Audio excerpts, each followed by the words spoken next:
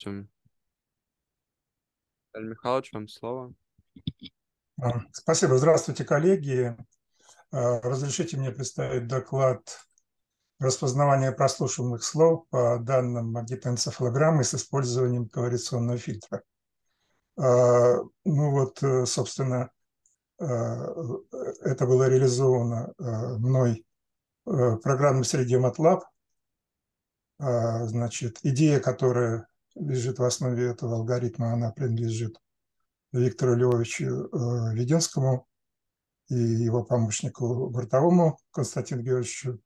А математическое, собственно, э, описание алгоритма э, сделал Бурлаков Евгений Олегович. Значит, это сотрудник Тюменского государственного университета. Вот. Ну, начнем.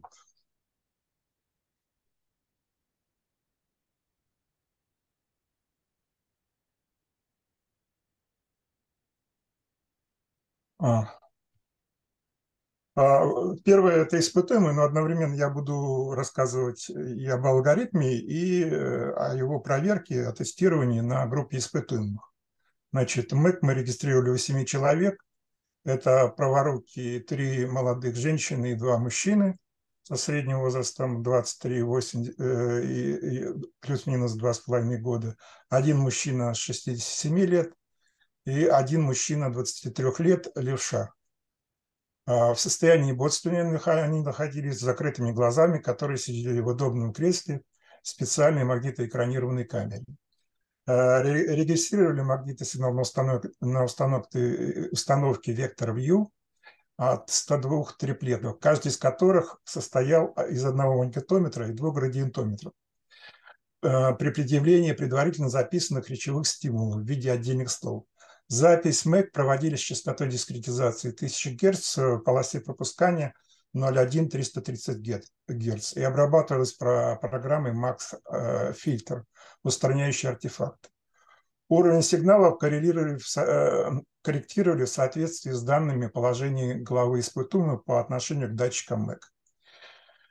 Проинструктированный испытуемый закрывал глаза, глаза, и ему предъявляли три серии речевых стимулов длительностью 2,5 э, минуты. Это серия была 2,5 минуты с перерывом в одну минуту. В каждой серии были представлены записи 43 аудиофайлов, содержащих 8, 8 ну, э, не связанных по, по смыслу, какой-то семантически они были связаны, а по смыслу они не связаны. Тут как бы написано и так, а так а, а, прилагательных русского языка.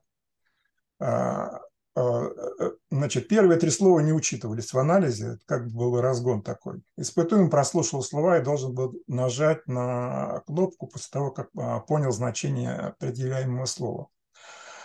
После нажатия или отсутствия реакции через полторы плюс-минус полсекунды предъявлялся следующий стимул. Но у нас, в наших экспериментах, в принципе, не было случая, когда испытуемый не нажимал на кнопку вот, в течение этого времени. Вот здесь показано как раз среднее значение реакции на, на стимул у одного из испытуемых при предъявлении, э, значит, э, одного из слов. Ну, это, это пять предъявлений здесь представлено, в принципе, э, за серию.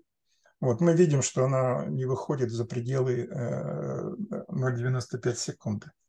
То есть такой разброс. Э, алгоритм э, распознавания слов по данным МЭК состоял значит, из нескольких шагов. На первом э, шаге мы вычисляли корреляционные матрицы по данным, значит, по данным МЭК. Это вот формула, собственно, ЦНК, это вот корреляционные матрицы. То есть мы получали набор для каждого слова. То есть в, серии было у нас 43 а, слова, 3 слова от, от, отбрасывалось, то есть 40 эм, таких вот матриц мы получали, да. А, собственно, вот эта корреляционная матрица, это э, число, э, значит, это количество слов, то есть вот 5 слов, которые были они были перемешаны все, э, и э, из них получалась, получалась серия 40 слов. А это, значит, номер слова, одного слова в этой серии. То есть первый раз, второй раз, третий, четвертый, пятый. Да? И, собственно, сами данные мы превращали их в вариационные, э, эти данные мы превращали в вариационные матрицы. Отрезок был равен одной секунде, тысячи миллисекунд. Вот. Дальше мы получали набор фильтров, а, а, собственно, с помощью которых потом распознавали эм, эти слова только по данным МЭП, не, не сопоставляя, собственно, со словами. Получали его при помощи значит, двух средней. Среднее для а, одного слова, значит, из серии, вот, и среднее по всем словам. Это вот здесь э, как бы второй набор операторов э, во второй формуле. Вот. Э, в третьей формуле показан, как происходило распознавание.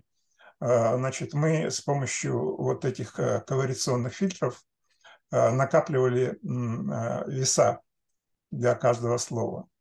Вот. И если это третья формула, и четвертая формула – это мы получали как бы наилучший фильтр, если в случае, если мы предъявляли, ну, произ... случайно предъявляли какое-то слово, то, соответственно, мы могли найти номер фильтра, который наилучшим образом соответствовал этому слову. Вот, и, соответственно, это четвертая формула, и, и, и таким образом мы определяли, какое это слово. Вот дальше у нас будет э, э, э показано уже на примерах конкретных, как это все происходило, как работал математический аппарат. А вот это исходные сигналы в левой части слайда. Здесь показаны два сигнала, которые хорошо скоррелированы. Мы видим сигнал, похожий да, хорошо на альфа-ритм, вот 1000 миллисекунд, здесь колебания, на него на, на, на высоко, наложена высокочастотная, здесь это может быть и наводка, а может быть и какие-то высокочастотные компоненты. Но, в принципе, для анализа было важно именно э, анализировать вот эти вот низкочастотные компоненты, то есть компоненты, которые были в диапазоне альфа-ритма. Э, второй пример, э, здесь показано а, антикорреляция, когда два канала ну, антикоррелировали. И на матрице мы это хорошо видим. Вот у нас здесь а, желтые, желтые, так сказать, точки – это там, где максимальное значение корреляции. Мы учитывали максимальное значение больше 0,7. И вот а синенькие квадратики точки, э, это э, когда у нас корреляция была отрицательной. Вот, ну, чтобы понимать, что э, вот полученная корреляционная матрица, она имела и положительные, и отрицательные значения, но мы учитывали вот для своих вычислений только положительную часть. Здесь показаны матрицы очищенные, то есть мы убирали так мы учитываем ну, только положительную часть, мы убирали, а, значит, э, диагональ, которая состояла из единиц, то есть э, э, корреляция канала с каналом, например, первый канал коррелирует с первым каналом, второй с вторым, и там как бы с ними вопросов нет. Вот. И их, эту диагональ мы убирали, и также вот здесь показаны только точки представлены со значениями корреляции больше 0,7 мы видим, что здесь э, между словами трудно вообще найти какие-то отличия. Вот, может быть, э, при более тщательном анализе это можно найти, но, собственно, тщательный анализ – это то, что делалось дальше. Дальше мы находили усредненную матрицу вот, для, э, для всех слов серии. Вот, и дальше получали уже непосредственно, масс, непосредственно фильтры для каждого слова. И вот мы видим, что фильтры для каждого слова, они а, отличаются один от другого. То есть э, тут на глаз заметно уже отличие, можно понять, что они отличаются.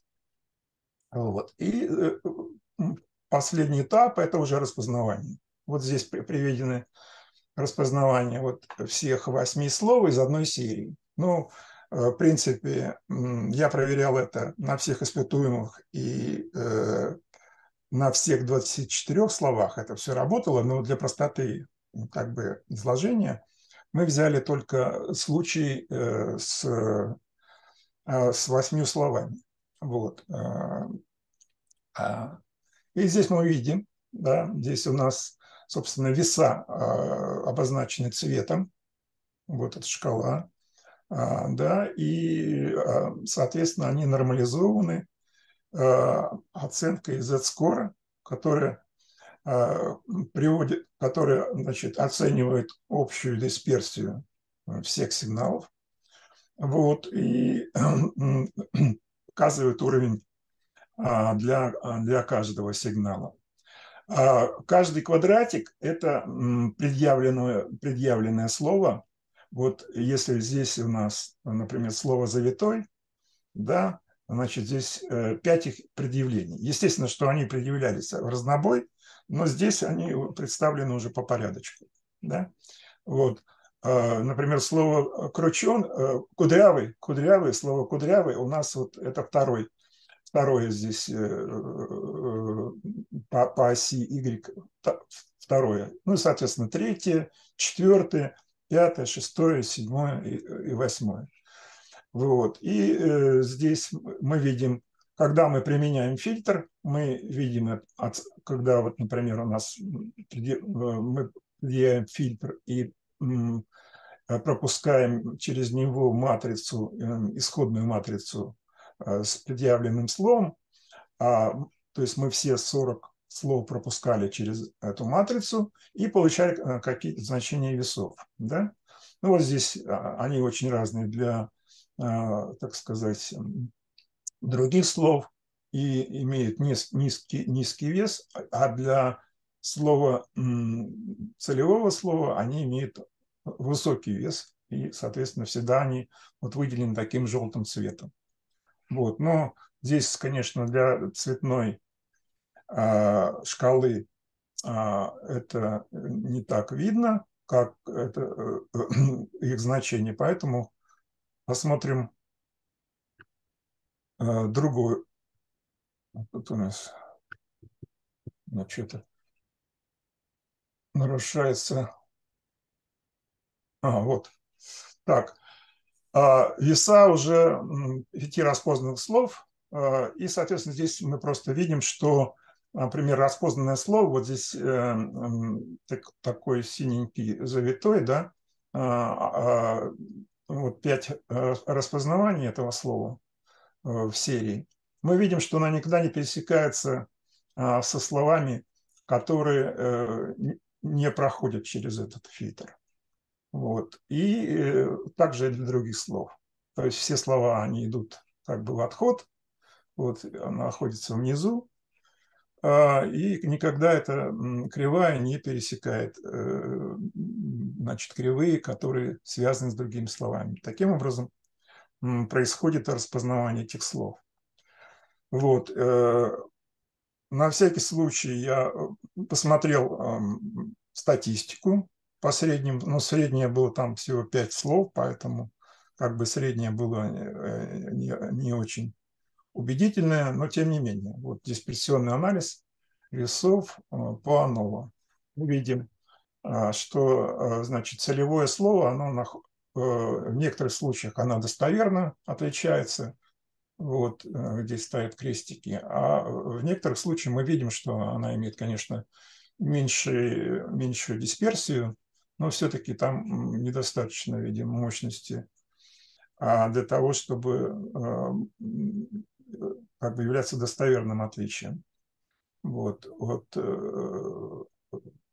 Но это говорит о том, что, в принципе, Конечно, алгоритм э, нуждается в э, доработке, но э, и работает пока что на троечку.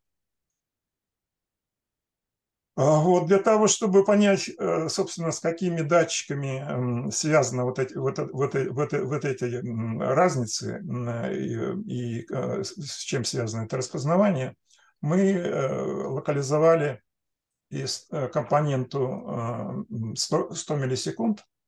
Э, и здесь просто никаких, так сказать, неожиданностей не было.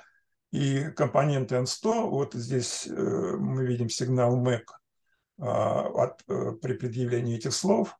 вот, и компонента 100 миллисекунд, она локализовалась в зоне, в зоне верники, тут никаких сюрпризов как бы нет. Э, вот, то есть там, где она должна локализоваться по всем, э, так сказать, знаниям, которые, которые мы знаем о, о анализе слов, вот там она и локализовалась.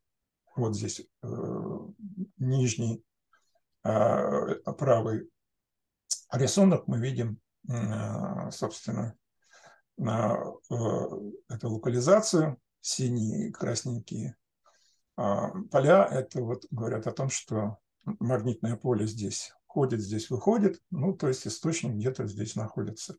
Вот. И карту распределения магнитных полей мы видим. Соответственно, у нас диполи расположены а, в одном направлении, то есть вот где-то под 45 градусов по изолинии они находятся, электрические диполи. Вот. А здесь мы э, посмотрели, а, э, собственно, как же вот, э, какие датчики отвечают за вот эту вот особенную, особенность. То есть они реагируют, в принципе, все на слово, но есть датчики, которые, собственно, мы, ориентируясь на фильтры, мы выделили и посмотрели, и мы видим, что здесь, конечно, на разные слова реагируют особенным образом. То есть есть датчики, которые реагируют на, одинаково на все слова. Вот. Но их здесь нет, а вот те, которые, э, так сказать, реагируют, э, имеют связи с другими датчиками, вот, и, собственно, они отражены в фильтрах, которые мы выделили. Вот, э, мы перенесли вот на общий слайд, и мы видим, что как бы отличие на глаз есть. Вот.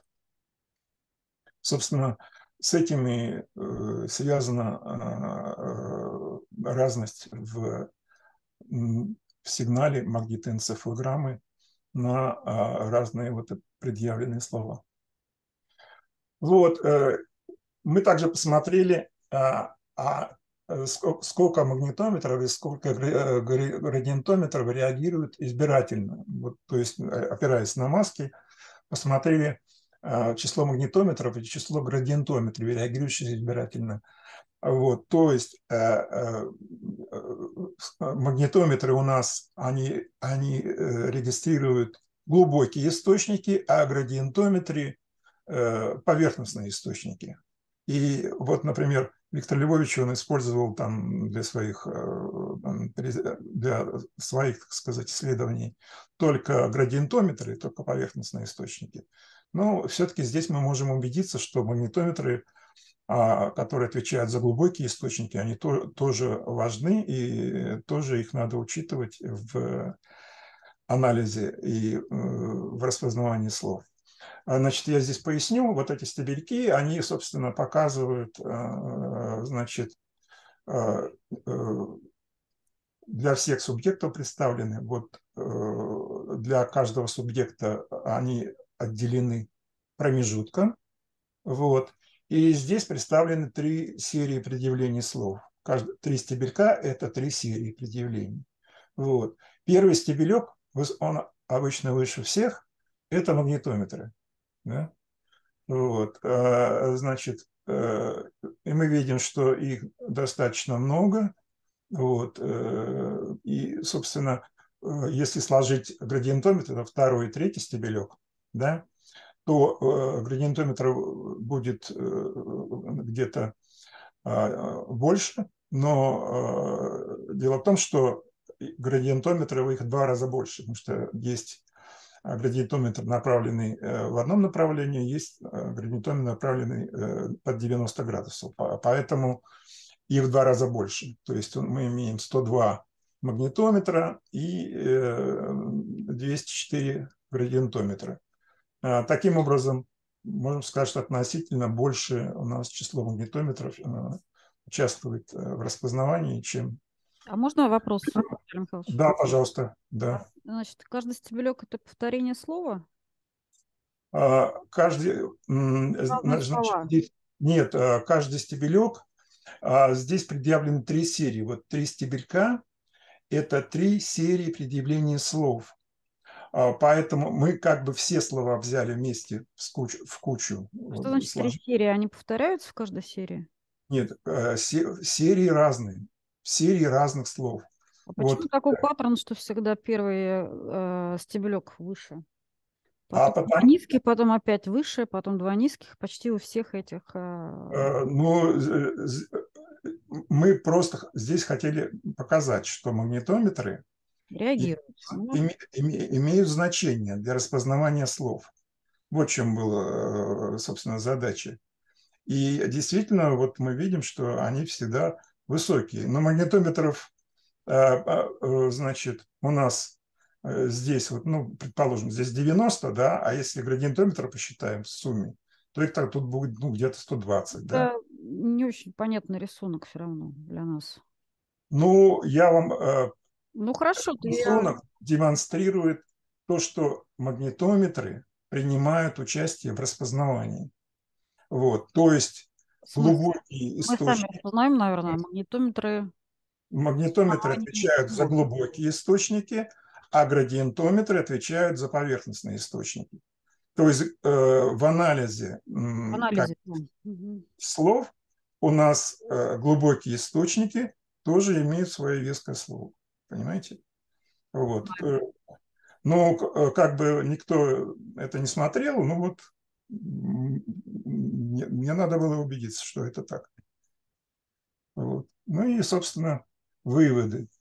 Предложен алгоритм распознавания слов, предъявляемых голосом, по данным их, который может быть использован как основа для создания мозг компьютерных интерфейсов при инвазивной регистрации активности мозга для определения опорных датчиков с последующей локализацией источников, связанных с структурами мозга, принимающих участие в анализе слов, для повышения эффективности нейросетевых классификаторов в качестве их первого первичного звена – Алгоритм эффективен независимо от физиологических особенностей мозга. Что я здесь имею в виду? Это то, что у нас был а, один испытуемый пожилой, вот, и один а, испытуемый левша.